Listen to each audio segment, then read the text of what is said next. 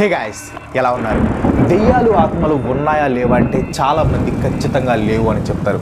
అదే జనాల్ని కంటికి కనిపించిన దేవుడు ఉన్నాడని అడిగితే ఖచ్చితంగా ఉన్నాడు అని చెప్తారు. నమ్మకం అలాంటిది. అయితే దేవుణ్ణి ఎంతగానో ప్రేమించే ఒక అమ్మాయి సడన్గా ద్వేషించడం మొదలుపెట్టింది. కనీసం దేవుడి ఫోటో చూడటానికి కూడా ఇష్టపడేది కాదు. తన ముందు ఎవరైనా దేవుడి గురించి మాట్లాడితే తట్టుకోలేనంత కోపం వచ్చేది.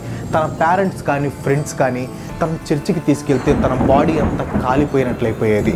కొద్ది రోజులకి తన ఆరోగ్యం కూడా పూర్తిగా చెడిపోయింది. ఒకటేంటి? తన స్వభావంలో ఎన్నో మార్పులు వచ్చాయి. జీవితం మీద పెట్టుకున్న ఎన్నో ఆశలు మంటల్లో కలిసిపోయాయి. అసలు తనకేమైంది? ఎందుకు తనకి దేవుడు అంటే అంత కోపం? లాస్ట్కి తనకి ఏం జరిగింది? ఈ స్పైన్ చిల్లింగ్ అండ్ అమేజింగ్ స్టోరీలో మీరు తెలుసుకోబోతున్నారు. అండ్ ఇంకో చిన్న విషయం నేను హర్రర్ స్టోరీస్ చెప్తుంటే చాలా మంది అవి క్రియేట్ చేసిన స్టోరీస్ ఏమో ఫేక్ స్టోరీస్ ఏమో అనుకుంటున్నారు. బట్ కాదు నేను చెప్పే హర్రర్ స్టోరీస్ అన్ని హండ్రెడ్ పర్సెంట్ రియల్ స్టోరీస్ కాకపోతే మీకు బాగా ఇంట్రెస్టింగ్ అనిపించడానికి నేను కొంచెం ఫిక్షన్ డ్రామా యాడ్ చేసి చెప్తాను అంతే. బట్ స్టోరీస్ మాత్రం హండ్రెడ్ పర్సెంట్ రియల్ ఈ రోజు చెప్పే స్టోరీ కూడా హండ్రెడ్ పర్సెంట్ రియల్ స్టోరీ దీంట్లో మీకు ఒరిజినల్ ఫుటేజెస్ ఆడియో టేప్స్ కూడా చూపిస్తాను. రెడీగా ఉండండి.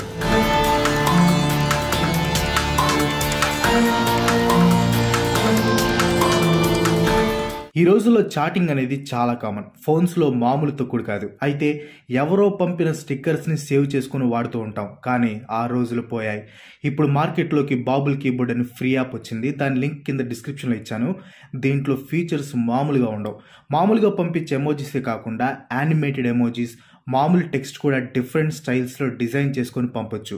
సెల్ఫీ ఒకటి తీసుకొని మనకి నచ్చిన స్టిక్కర్ లాగా చేంజ్ చేసుకొని దానికి మనకి నచ్చిన టెక్స్ట్ని యాడ్ చేసుకొని ఎవరికైనా పంపొచ్చు. దీంట్లో ఇంకో బెస్ట్ ఫీచర్ ఏంటంటే ఏ లాంగ్వేజ్లో అయినా పంపొచ్చు స్టిక్కర్స్ని తయారు చేసుకోవచ్చు. ఈ యాప్తో టెక్స్టింగ్లో మనకి డిఫరెంట్ ఎక్స్పీరియన్స్ వస్తుంది. అవతల ఎవరు ఉన్నా సరే ఇంప్రెస్ అయిపోవాల్సిందే. దీనికి సంబంధించిన లింక్ కింద డిస్క్రిప్షన్లో ఉంటుంది. డౌన్లోడ్ చేసుకుని నాకు ఇన్స్టాగ్రామ్లో మెసేజ్ చేయండి. ఖచ్చితంగా రిప్లై ఇస్తా. తన పేరు యానలిస్ మికేల్ తను సెప్టెంబర్ ఇరవై ఒకటి పంతొమ్మిది వందల యాభై రెండు జర్మనీలో జన్మించింది. తను పుట్టింది కూడా ఒక మంచి కుటుంబంలో. వాళ్ళని క్యాథలిక్స్ అంటారు. క్యాథలిక్స్లో పుట్టిన వాళ్ళకి దేవుడి మీద చాలా భక్తి ఉంటుంది. సో చిన్నప్పటి నుంచి యానలిస్ట్కి దేవుడు అంటే చాలా ఇష్టం. టైం దొరికినప్పుడు ఫ్రెండ్స్తో కానీ పేరెంట్స్తో కానీ చర్చికి వెళ్ళేది. అలాగే చాలా కాలం కూడా గడిపింది. అయితే పాపాలు చేసిన వాళ్ళు నరకానికి పోతారని క్యాథలిక్స్ గట్టిగా నమ్ముతారు. సో వాళ్ళు చేసుకున్న పాపాలు పోవడానికి వాళ్ళ ఫ్యామిలీస్ చాలా నియమాలు నిబంధనలు పాటించేవాళ్ళు. వాళ్ళు చేసుకున్న పాపాలు పోవడానికి ప్రాయశ్చిత్తంగా చాలా చల్లగా ఉన్న ప్రదేశంలోకి వెళ్ళి బట్టలు లేకుండా కింద ఏమీ పరుచుకోకుండా అలానే పడుకునేవాళ్ళు. ఇలా పడుకోవటం వల్ల యానలిస్కి ఆరోగ్యం చాలా సార్లు దెబ్బతింది అయితే ఇలా పడుకోవటం వల్ల పాపాలే కాకుండా ఎవరికైనా పొగాకు కానీ డ్రింకింగ్ హ్యాబిట్స్ ఉంటే పోతాయని వాళ్ళు నమ్మేవాళ్ళు. సో చర్చికి వచ్చిన వాళ్ళకు కూడా ఇలా చేయమని చెప్పేవాళ్ళు. అయితే యానలిస్ట్కి పదహారు సంవత్సరాల వయసు వచ్చినప్పుడు తన ఆరోగ్యం సడన్గా దెబ్బతినింది. ఆడుకుంటున్న యానలిస్ మూర్ఛ వచ్చి పడిపోయి గిలగిలా కొట్టుకుంటుంది. వాళ్ళ పేరెంట్స్ వెంటనే తన్ని హాస్పిటల్కి తీసుకుని వెళ్ళారు జూన్ పంతొమ్మిది వందల డెబ్బై నుంచి యానలిస్ మానసికంగా మెంటల్గా చాలా డిస్టర్బ్ అయింది. అయినా సరే పంతొమ్మిది వందల డెబ్బై మూడులో ఆరోగ్యం బాగా లేకపోయినా ట్రీట్మెంట్ తీసుకుంటూనే తన గ్రాడ్యుయేషన్ని కంప్లీట్ చేసింది. అయితే ట్రీట్మెంట్ అయిపోయిన తర్వాత యానలిస్ట్కి ఎపిలెప్టిక్ సైకోసిస్ అనే డిసార్డర్ ఉందని డాక్టర్స్ చెప్పారు. ఈ డిసార్డర్ ఉన్న వాళ్ళు ఏదేదో పిచ్చి పిచ్చి మాటలు మాట్లాడుతూ మెంటల్ మెంటల్గా బిహేవ్ చేస్తూ ఉంటారని డాక్టర్స్ చెప్పారు. అయితే స్లోగా యానలిస్ట్లో మార్పులు వచ్చాయి. తను మెంటల్ మెంటల్గా బిహేవ్ చేయడం స్టార్ట్ చేసింది. ఎంత ట్రీట్మెంట్ చేసినా ఫలితం లేకపోవడంతో యానలిస్ట్ని మెంటల్ హాస్పిటల్కి తరలించారు. అక్కడికి వెళ్ళాక యానలిస్ట్ ఆరోగ్యం ఇంకా దెబ్బతింది. తను అసలు మనిషిలానే బిహేవ్ చేసేది కాదు. అయినా కూడా వాళ్ళ పేరెంట్స్ తనని చర్చికి తీసుకుని వచ్చేవాళ్ళు. చర్చికి తీసుకుని వస్తే దెయ్యాలు వస్తున్నాయని భయం భయంతో యానలిస్ట్ మాట్లాడేది. ఆ భయంలో యానలిస్ట్ తనని తాను తిట్టుకునేది. తన ఆరోగ్యం బాగాలేక మెంటల్గా డిస్టర్బ్ అవడం వల్ల డాక్టర్స్ ఇంకా లేనిపోని ట్రీట్మెంట్స్ చేసేవాళ్ళు. అలా రెండు సంవత్సరాలు యానలిస్ అలానే ఉంది.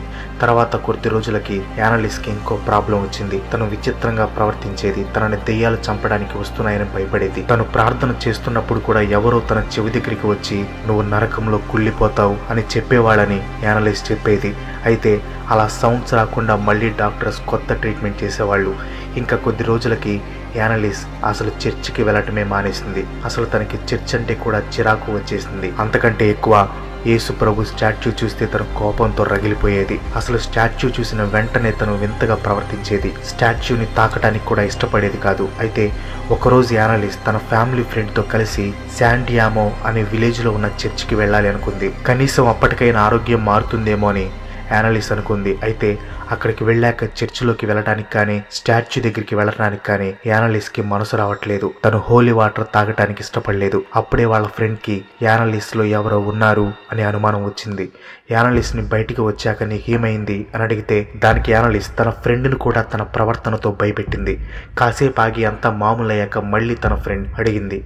అప్పుడు యానలిస్ నాకెందుకో యేసు ప్రభు స్టాచ్యూ చూసిన చర్చిలోకి వెళ్ళిన కళ్ళు కాలిపోతాయి. నా కంట్లో నుంచి మంటలు వచ్చినట్లు అవుతుంది. అలాగే మోకాళ్ళ మీద నడిచే భక్తుల్ని చూసినా కూడా వాళ్ళు నన్ను చంపడానికి వస్తున్నట్లు అనిపిస్తుందని యానలిస్ తన ఫ్రెండ్కి చెప్పింది. అయితే తనలో ఏవో దెయ్యాలు ఆత్మలు ఉన్నాయని వాళ్ళ ఫ్యామిలీ మెంబర్స్ గ్రహించారు. ఇంకా డాక్టర్స్ దగ్గరికి పంపించడం కూడా వేస్ట్ అని యానలిస్కి భూత వైద్యం చేపిద్దామని అందరూ అనుకున్నారు. అయితే భూత వైద్యం చేయాలంటే చర్చిలో ఉన్న బిషప్ నుంచి పర్మిషన్ తీసుకోవాలి. ఎందుకంటే మ్యాటర్ చాలా సీరియస్ అయితే తప్ప బిషప్ ఎక్సార్సిజంకి ఒప్పుకోడు. కానీ వాళ్ళ పేరెంట్స్ చాలా ట్రై చేశారు. కానీ బిషప్ నుంచి మాత్రం ఎలాంటి ఇన్ఫర్మేషన్ లేదు. అయితే తన బిహేవియర్ గురించి బాగా తెలిసిన ఒక ఫాదర్ ఎర్నెస్టాల్ట్ అసలు యారలిస్కి మూర్ఛ వ్యాధి లేదు. అసలు యారలీస్ మూర్ఛకి ఎప్పుడు గురి కూడా కాలేదని చెప్పాడు. అప్పుడు ఎర్నెస్టాల్ట్ యారలిస్కి ఎక్సార్సిజం చేయమని బిషప్ని కోరాడు. అప్పటికి కూడా ఎలాంటి ఇన్ఫర్మేషన్ రాలేదు బిషప్ నుంచి. కానీ ఒకరోజు యానలిస్ తను బాగున్న సమయంలో తన మనసులో ఉన్న బాధని పెయిన్ని చెప్పుకొని బిషప్కి ఒక లేఖ రాసింది. అప్పుడే యానలిస్ ఆ లెటర్తోనే లోకానికి బాగా పరిచయమైంది. ఆ లేఖలో నేను యానలిస్ని నాకందరితో కలిసి సంతోషంగా ఉండాలి అనుకుంటున్నాను. ఆరోగ్యంగా బ్రతకాలి అనుకుంటున్నాను. నాకు ఈ లోకాన్ని చూడాలని ఉంది. ఈ నొప్పి భరించలేకపోతున్నాను. ప్లీజ్ నా కోసం మీరు ప్రేయర్ చేయండి అని చెప్పింది. ఆ లేఖ చూసిన బిషప్ మనసు చలించిపోయింది. వెంటనే భూత వైద్యం చేయడానికి ఒప్పుకున్నాడు. అది పంతొమ్మిది వందల డెబ్బై ఐదు సెప్టెంబర్ ఇరవై నాలుగు. ఫాదర్ రెంజ్ అనే ప్రీస్ట్ యానలిస్కి ఎక్సార్సిజం స్టార్ట్ చేశాడు.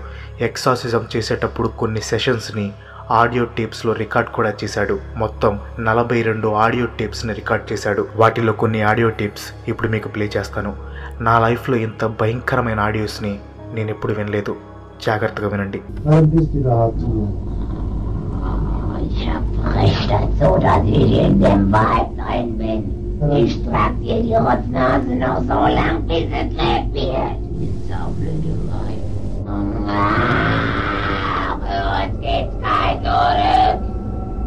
Nee, in alle Ewigkeit. Im Namen Maria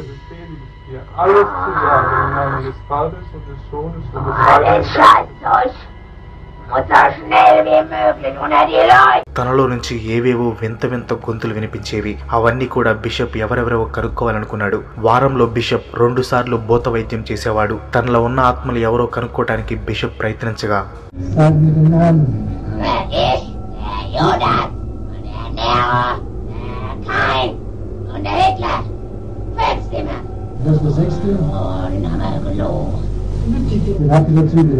Lucifer Cain Judas Hitler Nero Fleischmann అనే ఆరు దెయ్యాలు తనకి ఉన్నట్లు యానలిస్ చెప్పింది. ఇక్కడ ఫాదర్కి మైండ్ పోయిన విషయం యానలిస్ ఫెలిష్ మ్యాన్ అనే పేరు తన గురించి ఫుల్ డీటెయిల్స్ చెప్పటం.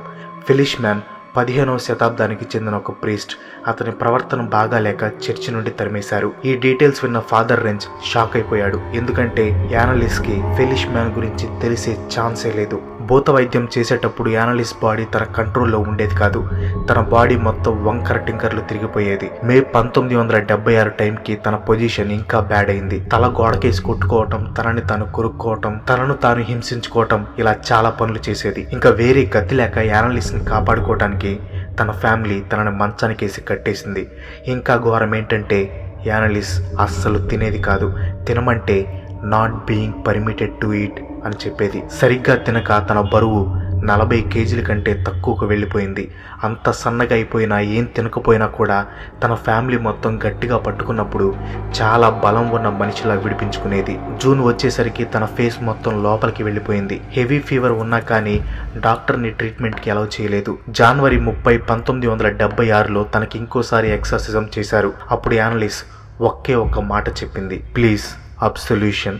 తెలుగులో దీని అర్థం విమోచన. తర్వాత రోజు యానలిస్ తన రూమ్లో చనిపోయి ఉంది. ఇరవై మూడు సంవత్సరాల వయసులో అరవై ఏడు సార్లు ఎక్సార్సిజం చేశాక ఆకలితో చనిపోయింది. అయితే తను చనిపోవడానికి బిషప్పే కారణమని పోలీసులు కేసు ఫైల్ చేశారు. భూత వైద్యం చేసేటప్పుడు టెన్ మంత్స్ యానలిస్ట్ సరిగ్గా తినలేదని పోస్ట్ మార్టంలో మాల్ న్యూట్రిషన్ వలన యానలిస్ట్ చనిపోయిందని తేలింది. అయితే భూత వైద్యం చేయించడానికి వాళ్ళ పేరెంట్స్ దగ్గరుండి చేయించడం వల్ల వాళ్ళ పేరెంట్స్ మీద కూడా కేసు ఫైల్ చేశారు. కానీ కూతురు చనిపోయిన బాధలో ఉన్నారని కోర్టు వాళ్ళని రిలీజ్ చేసింది.